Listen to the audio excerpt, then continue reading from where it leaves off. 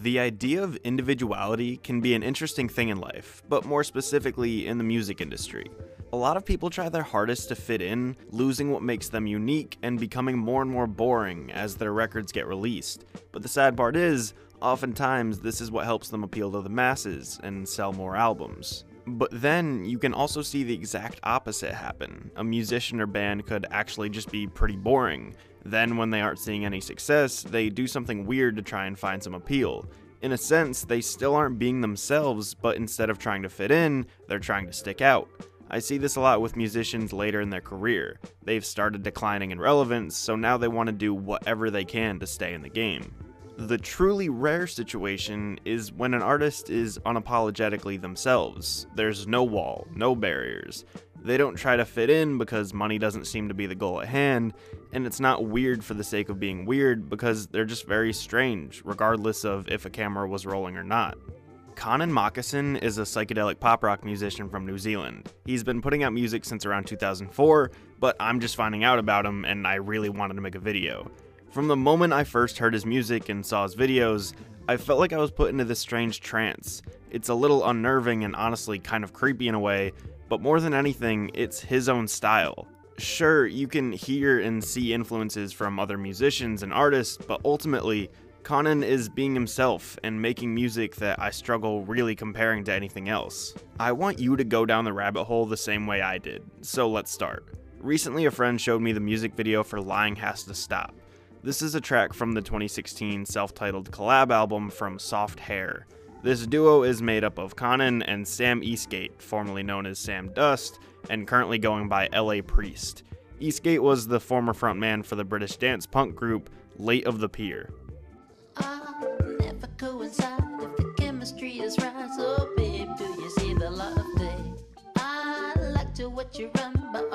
touch your bum, oh babe. Let's just focus on the song. It's a very groovy, melodic, atmospheric sound that I can't really throw into one specific subgenre. It's a mashup of something psychedelic mixed with dream pop, space rock, and more. Connan's voice is strange, eerie, and a much higher pitch than you might expect, and at least for me, there's something pretty charming about it. He changes his vocal melodies a few times throughout the track. Sometimes they're lower and more controlled, sometimes they're super high pitched with cracks and scratches in his delivery. It's this raw sound that I can't really get enough of. And now let's talk about the music video. From the very start, we're met with our two vocalists who look like they're straight out of an 80s hair band. They're wearing robes, the background looks like the set design from a high school play about the future or something. Sam is giving his best model look, while Connan is making this lizard esque face.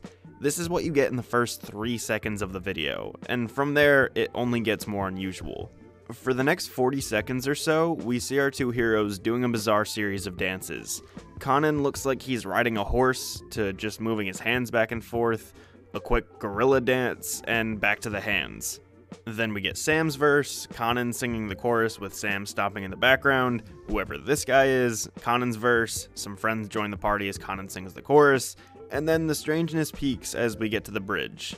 Connan being as creepy as possible, holding this big video camera in the bathroom, and what is he filming but Sam just standing there. Cool. The video ends with the two wiping the soapy glass door of the shower. So while I was incredibly weirded and creeped out by this video, I was intrigued. I liked the song a lot, especially Connan's parts, he seemed to be the more eccentric of the two, so I was interested in checking out more of his music.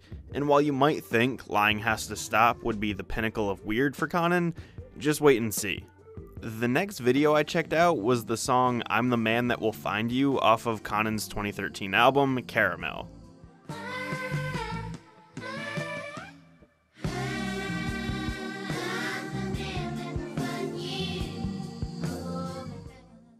So, this is the thing about my relationship with Connan's music. First off, I know I really enjoy it. His voice is otherworldly, the instrumentals are ambient yet groovy, and each part of a given song can be completely different than other parts of the song, which I find interesting. But so much of the time, especially when I'm watching the videos, I just feel like he's joking. Like years from now, he's gonna write a book about how he was pretending to be some entertainer who was half musician, half Tim and Eric character. If this video didn't seem ridiculous enough already, look at what happens when the hook comes around for the third time.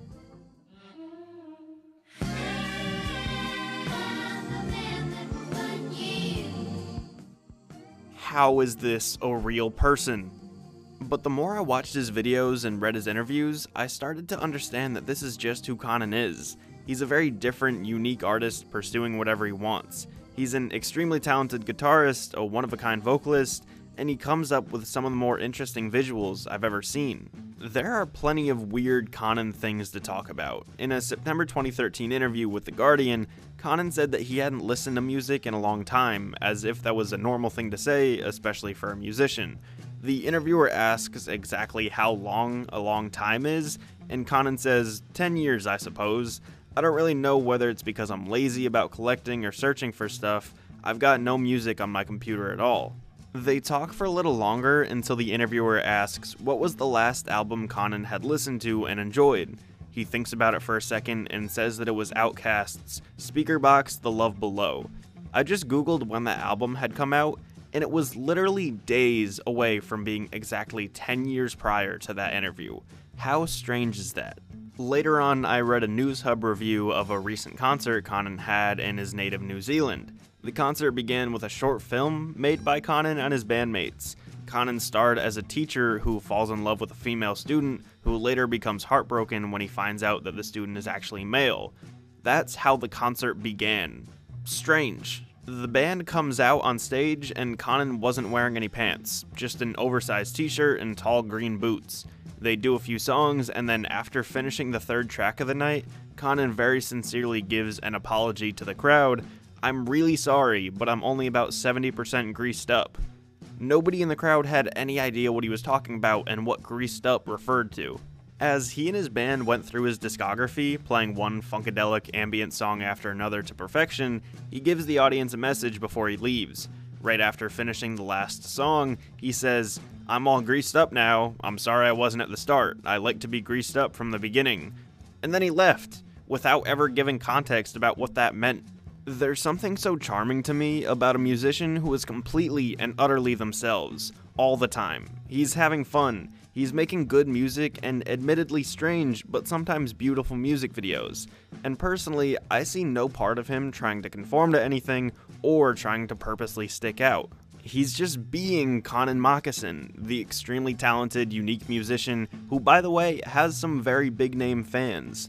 Over the years, musicians like Beck, Tyler the Creator, Beach House, Radiohead, and more have all declared their love for Connan. He's also helped record on projects for James Blake and MGMT. Connan has a lot of music in his discography, so check him out. Hey, thanks so much for watching this video. Remember to like and subscribe if you want more videos like this. If you want to follow my social media, the links are down below. You can also donate to my Patreon, help the show, and get some cool rewards if you click the link on the screen and I sell merch at teepublic.com slash user slash alfomedia. Thanks for watching, and always forward.